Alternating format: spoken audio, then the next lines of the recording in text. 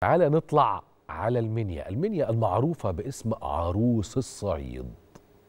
حتة كورنيش في المنيا. ما أقولكوش. أظن بعضنا شافه أو كتير مننا شافه ما إحنا صورنا مرة كنا في راس السنة اللي هي مش بتاعة 22 23 21 22 طلعنا من كورنيش المنيا. لو تتذكروا طلعنا من أكتر من مدينة ومحافظة مصرية. حتة كورنيش. ما أقولكش. المنيا وثمان سنين من الإنجاز في كل القطاعات. بس كمان كان في تركيز رائع جدا على قطاعات التنمية البشرية القطاع الاقتصادي المجتمع. الطفرة اللي حصلت في المنيا في طرقها ومرافقها والتنمية المكانية بتاعتها. خليني هنا بقى آخد معانا كاتب الصحفي الكبير أستاذ أكرم القصاص رئيس تحرير اليوم السابع. ازيك يا أستاذ أكرم. أهلا أهلا مساء الخير. مساء الفل. حدوتة المنيا في 8 سنين يا أستاذ أكرم؟ هو الحقيقة مش حدوتة المنيا بس الحقيقة الصعيد كله آه و- و- ووجه بحري لكن الصعيد كان ليه آه آه، يعني آه طريق مهم قوي في ممرات التنمية وفي ال...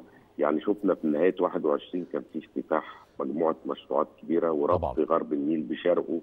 ومحاور وطرق ودي كانت طرق ضخمة جدا يعني وفيها أعمال هندسية وغيره وكان في حرص إنه يبقى في ربط بين غرب النيل وشرقه بعد عقود من الانعزال دي نقطة، النقطة الثانية إنه فاكرين في يناير اللي فات كان في سوهاج فيها أكبر مستشفى مستشفى جامعي ضخم جدا تقريبا بمليار جنيه ومنطقه صناعية. والأسيوط كان في أكثر من مشروع صناعي ومحطات تكرير وغيره. ففكرة توزيع عدالة توزيع مشروعات التنمية دي دي فكرة استمرت على مدى السنوات اللي فاتت. فالحقيقة المنيا آه، وبني سويف قبلها كمان آه، في توزيع حقيقي لفكرة المشروعات.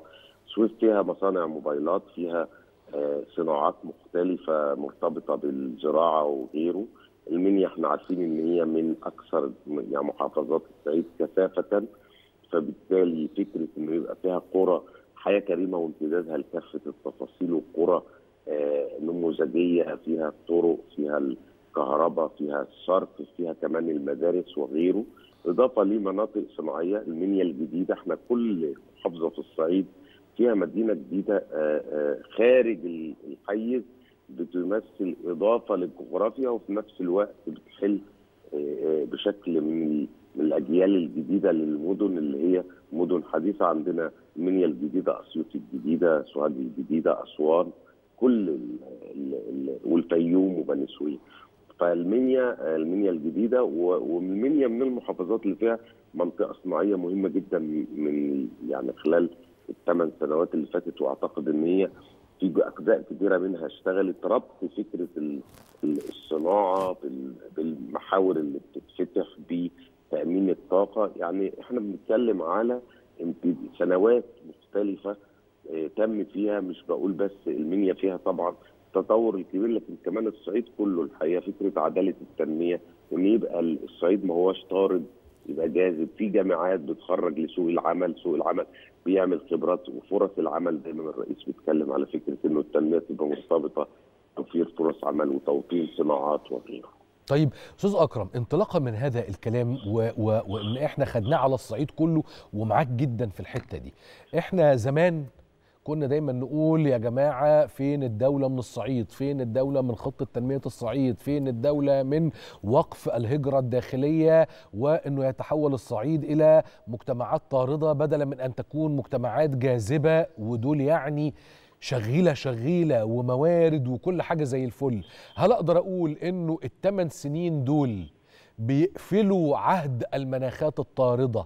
والثمان سنين دول بيختموا وبيصكوا آه، شكل جديد للصعيد في مصر. أي عاد الصعيد إلى حضن الدولة مرة تانية؟ آه إلى حد كبير طبعا لأنه الحقيقة إنه الصعيد آه، بالذات ال- الريف فيه كان مهمل والصعيد كان محروم وجزء من بحري الحقيقة كان محروم من الخدمات تقريبا وكان الموضوع كله في وقت الانتخابات شوية مواسير يترموا وبعد كده يتسحبوا بعد الانتخابات وتفضل الدايرة مغلقة. فكرة إنه الصرف أو الغاز يوصل لقرى في الصعيد في المنيا أو في في اسيوط أو في سوهاج ده نقطة مهمة جدا. والنقطة اللي أنت بتشير إليها إنه كل المحافظات دي فيها جامعات وللأسف كان بيبقى خريجي هذه الجامعات غالبا بياخدوا طريقهم إلى القاهرة لأنه ما هواش لاقي الوظيفه المناسبة. آه. النهارده يمكن حتى اتجاه للتعليم إنه يرتبط أكثر بسوق العمل ويبقى فيه تخصصات النهارده في تخصصات ذكاء اصطناعي في تخصصات طاقة في غيره. أصبح في ده موجود في الصعيد. فمن حق الخريج إنه يجد شغل مناسب. فالنهاردة يلاقي بتاع الهندسة ممكن يلاقي في المناطق الصناعية والعكس يعمل المشروع بتاعه.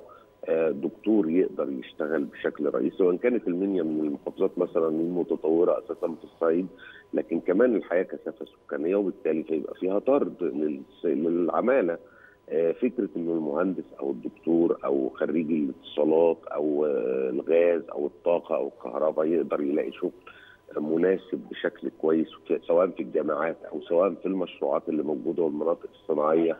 والحقيقة خلينا اشير إلى نقطة مهمة قوي في التطوير كمان إنه ربطها بالمبادرات الرئاسية المختلفة. يعني الحياة كريمة من ناحية هنشوف في المنيا تغيير. آه، مثلا المعصره دي قرية نموذجية بنتكلم على مشروعات مختلفة فبالتالي حياة كريمة لما يبقى الريف في طريق ممهد جيد يقدر يروح الجامعة ويرجع أو يصرف منتجاته أو يبقى في كهرباء وغاز بشكل لائق وبشكل كويس مع الخدمات المختلفة. ما يبقى في منطقة صناعية يقدر يروح لها يودي لها الخامات وياخد المنتجات بتاعته يصرفها بالدوائر الإقليمية والمحاور مع ربط شرق النيل بغربه. سواء في المنيا أو في المحافظات الصعيد وده موجود في المنيا.